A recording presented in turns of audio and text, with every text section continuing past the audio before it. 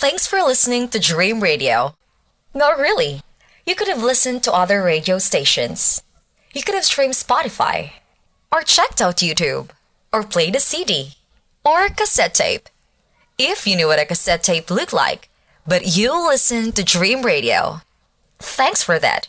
And you still have thousand more songs to enjoy, all for free. Less commercials. Thanks for listening to Dream Radio. Not really. You could have listened to other radio stations. You could have streamed Spotify, or checked out YouTube, or played a CD, or a cassette tape. If you knew what a cassette tape looked like, but you listened to Dream Radio. Thanks for that. And you still have thousand more songs to enjoy, all for free. Less commercials.